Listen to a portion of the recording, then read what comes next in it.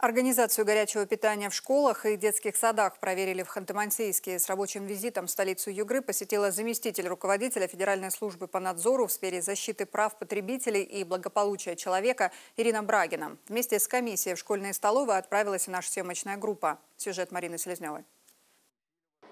Место, где школьники отвлекаются от занятий и набираются сил. Прежде чем на столах появится горячий обед, с самого утра повара трудятся на кухне. За всем процессом следит заведующая столовой. По ее словам, здесь готовят с душой, поэтому пустых тарелок практически не остается.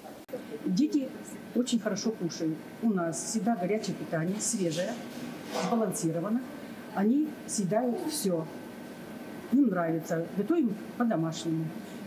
Вот, чтобы дети были довольны, ушли все были сыты. В составе комиссии представители Федеральной службы по надзору в сфере защиты прав потребителей и благополучия человека, а также сотрудники Роспотребнадзора. Проверяют порядок на кухне, состояние оборудования, знакомятся с недельным меню. Кстати, при его составлении учитываются пожелания родителей. На обед у детей первое, второе компот. А ежедневно в рацион входят белки, углеводы, конечно же, свежие фрукты и овощи.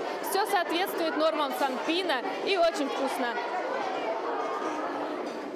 седьмой школе Ханты-Мансийска 483 ученика. Начальные классы питаются бесплатно, пятиклассники на 95 рублей, а те, кто постарше, на 105. В Югре, кстати, к льготным категориям добавлены дети участников СВО, инвалиды, а также учащиеся с особенностями развития.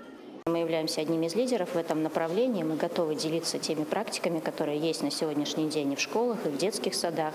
Особенно то, что касается медицинского обеспечения, потому что это и а, педиатры, которые работают, и медицинские сестры, и стоматологические кабинеты, которые позволяют профилактировать и лечить на ранних стадиях заболевания у детей. Также федеральные эксперты познакомились с работой медицинского и стоматологического кабинетов. Особое внимание соблюдению санитарно-гигиенических норм. Замечаний у комиссии нет. По их мнению, опыт Югры в области организации питания и медпомощи в школах, а также в детских садах можно тиражировать по всей стране. Марина Селезнева, Сергей Вояшко, Вести Югория, Ханты-Мансийск.